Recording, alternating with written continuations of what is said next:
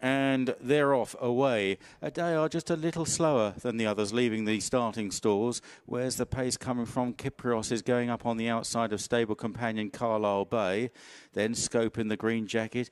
Third realm out wide. are now recovering round the inside, and Recovery Run is just at the back as they round their first turn. And so Carlisle Bay is the early leader in the hands of Frankie Dettori, setting the pace, followed by stable companion Kyprios.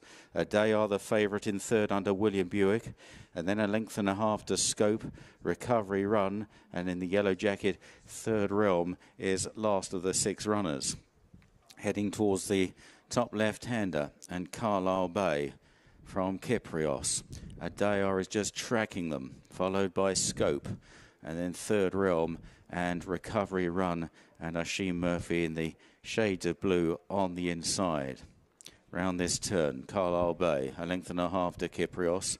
Uh, Adayar just tracking them on the inside in third, followed by Scope and then Recovery Run right next to the inside running rail, just ahead now of Third Realm.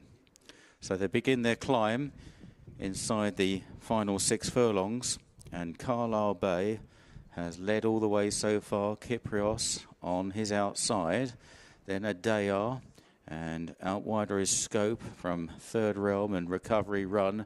They're nearly at the top of the climb now and about to run downhill with about four and a half furlongs left to cover in this Novibet Derby trial. Carlisle Bay and Kyprios. It's looked a stronger run race than the Oaks trial half an hour or so ago.